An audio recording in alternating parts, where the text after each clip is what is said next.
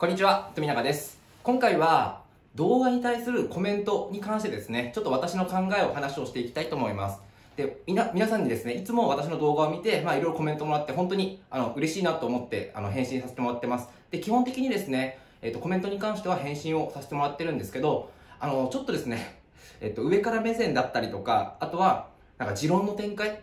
それをやっぱりやられる方も結構いらっしゃるので、そういうコメントはすいません、あの、ちょっと返信しないようにします。私もですね、あの、他の SNS とかも、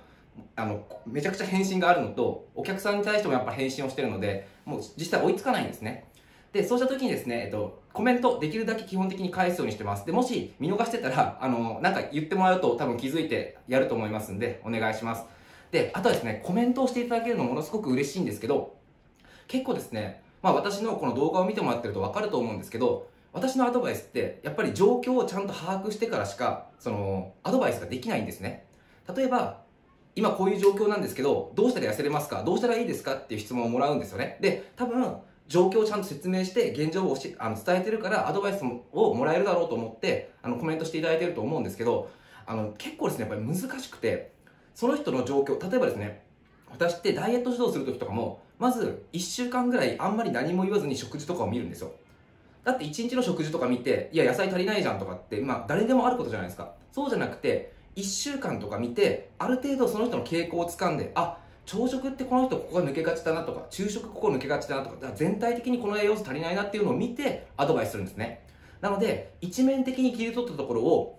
その報告されて、アドバイス求められてもやっぱりなかなかできないんですよ。で、例えば他にも、えっ、と、今から何キロ痩せたいんですけど、痩せることできますかって言われるじゃないですか。で、これもですね、例えば、今がそのリバウンドで上がり調子の時なのか、それとも体重が維持されてるかっていうところで全然違ってくるわけですよ。例えば、今こう上がり調子に上がって体重が伸びてる人っていうのは、まずこれが止まるような状態に持っていかないといけないので、時間がかかりますよね。けどその一方で、頑張ってなくて体重が普通にこうずっと、なんていうんですかね、平均値というか、を言ってるんであれば、ちょっと頑張れば体重落ちる可能性ありますよね。なので、そうしたところを、まあ結構ですね、細かいところを状況を把握しないと、細かい的確なアドバイスできないんですよ。で、私はその、適当なアドバイスがなかなかできないので、どうしてもですね、コメントとかで、ちょっと答えづらい質問とかになったりとか、状況を聞かないと、あの、返せない質問になると、すぐ質問するんですよ。多分、経験ある人多いと思うんですよ。僕に多分質問したら質問で返ってきた。で、あれは何かっていうと、状況を把握しないとアドバイスができないからなんですね。まあ、もちろん私もですね、これをやれば痩せるとか、これをやれば、あ、これぐらいやれば何キロ痩せますよとかがあればおあのお伝えしたいんですけど、まあ、残念ながらそういうのでないんですよ。なので、まあ、アドバイス、あの、コメントとかもですね、まあ、実際これをこうやって、こうだったんですけど、何か考えられる原因他にありますかとか、例えば、えっ、と、最近だと、カーブファースト、炭水化物を最近食べ始めたんだけど、食後の食欲が落ち着きません。他に考えられる原因ありますかねとかだとですね、私もめっちゃ答え、答えやすいんですよ。だって食後に、その、食欲が落ち着かなくて食べてしまう原因って他にもいろいろあるんで、それだったらこれとこれとこれとこれの原因がある可能性があるので、ここから何か当てはまるものを見つけてやってみてはどうですかとかができるんですね。なので、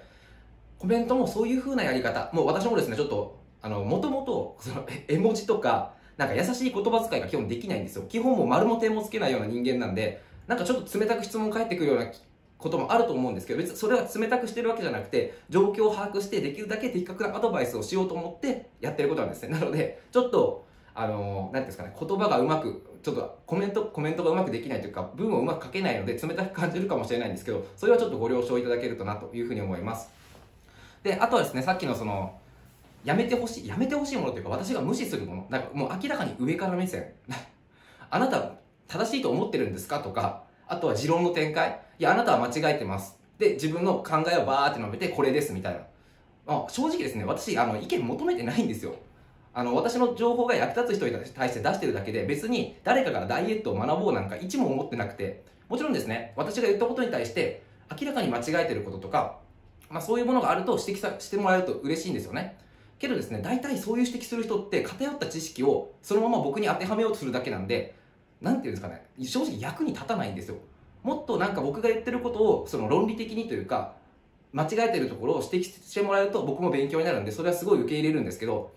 明らかに例えば僕が糖質制限と合わないような発信をした時に糖質制限をしてる人が、いやいや糖質はそのインスリンを出してインスリンが悪だから取らない方がいいとか、もうそんなのは偏りすぎて、もうあの論外なんです、正直。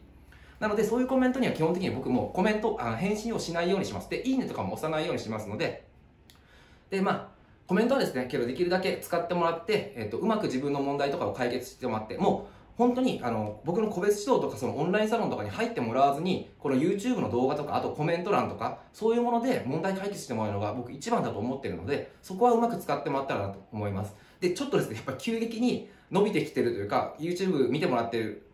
あのかなり見てもらえるようになってるのでコメントがめちゃくちゃ多くてちょっと追いつかなかったりとか見逃したりすることがあると思うんですけどまあ、返せるところまではできるだけ返していきたいと思いますので、まあ、今後もいろいろあったらコメントしていただけると嬉しいです。では、また。